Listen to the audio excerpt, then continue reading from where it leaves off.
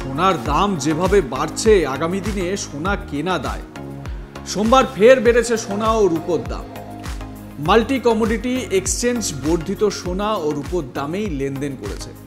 আন্তর্জাতিক বাজারে সোনা ও রূপোর দাম বাড়ায়, দেশীয় বাজারেও বেড়েছে সোনা ও রূপোর দাম। সোমবার সোনার দাম সামান্য বেড়েছে। ছাপ্পান্ন হাজার দুশো এক টাকা থেকে বেড়ে হলুদ ধাতুর দর পৌঁছে গিয়েছে ছাপ্পান্ন হাজার দুশো সত্তর টাকায়। প্রতি দশ গ্রাম সোনার দাম বেড়েছে আট টাকা। অন্যদিকে রুপোর দাম আটত্রিশ টাকা বেড়ে পৌঁছে গিয়েছে প্রতি কেজিতে পঁয়ষট্টি হাজার ছশো উনসত্তর টাকায়। একবার ভাবুন, সোনা রূপোর দাম যে হারে প্রত্যেক দিন বাড়ছে, তাতে করে এই হলুদ ধাতুতে টাচ করাই এখন দেখা যাচ্ছে যে এটা সব থেকে বড় কঠিন ব্যাপার। তো এবারে এই মুহূর্তে ভারতীয়দের মধ্যে একটা মাইন্ডসেট রয়েছে সেটা হচ্ছে গিয়ে সোনা শুধুমাত্র যে গয়না বা অলংকার সেটা নয়। সোনাকে ভারতীয়রা বিনিয়োগ হিসেবেও দেখে। যেমন, সোনা কিনে রাখা হলো, ভবিষ্যতে কাজে লাগবে। এই কথাটা বিভিন্ন জায়গায়, বিশেষত আমি যদি বাঙালি বাড়ির কথা বলি, তাহলে বাঙালি বাড়িতে তো ভীষণ রকমভাবে প্রচলিত। সোনা কিনে রেখে দাও এবং সেই সোনা দরকারের সময় কাজে আসবে।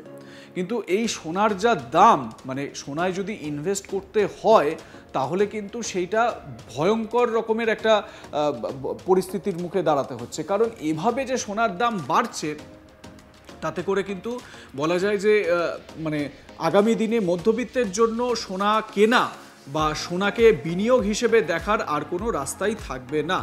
আমরা যদি কয়েক বছর পিছিয়েও যাই দু হাজার সতেরো আঠেরো সালের দিকেও যদি নজর রাখি, তাহলে যে সোনা এই দশ গ্রাম সোনার দাম মানে গয়না সোনার দাম যেখানে ছিল তেত্রিশ, চৌত্রিশ হাজার টাকা, সেই সেই সোনার দাম এখন ছাপ্পান্ন হাজার টাকা ক্রস করে গিয়েছে। তার মানে এই কয়েক বছরেই সোনার যে দাম, সেই দাম কতটা বৃদ্ধি পেয়েছে সেটা আপনারা আন্দাজ করতেই পারছেন। এর মধ্যে দুটো বিষয় রয়েছে। এক হচ্ছে গিয়ে আন্তর্জাতিক বাজার। আন্তর্জাতিক বাজারে সোনার দাম বাড়ার জন্যই কিন্তু মানে ঘরোয়া যে বাজার, সেখানে সোনার গয়নার দাম বাড়ছে।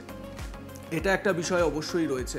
এছাড়াও সোনার পাশাপাশি রূপোতেও সাধারণত একেবারে মধ্যবিত্ত, নিম্ন মধ্যবিত্ত পরিবারে সোনা কেনার ক্ষমতা যাদের থাকে না, তারা তো রূপোর ওপরেই ভরসা করেন। রূপোর একটা চেন বা রূপোর একটা হার, কিছু একটা গিফট করা গিফট করার ক্ষেত্রেও রূপোকে কাজে লাগানো হয়।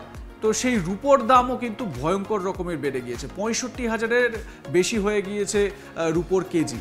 তো এই রকম একটা পরিস্থিতিতে সোনার উপর দাম যেভাবে বাড়ছে তাতে করে বলাই যায় যে আগামী দিনটা মধ্যবিত্তের মানে এখনই নাগালের বাইরে চলে গিয়েছে, কিন্তু আগামী দিনে সোনা শুধু মানে চেয়েই দেখতে হবে ছবিতে, হাতে আর দেওয়া যাবে না। তো যাই হোক, কেমন লাগছে আপনাদের এই ভিডিওগুলো আমাদের জানাতে থাকুন।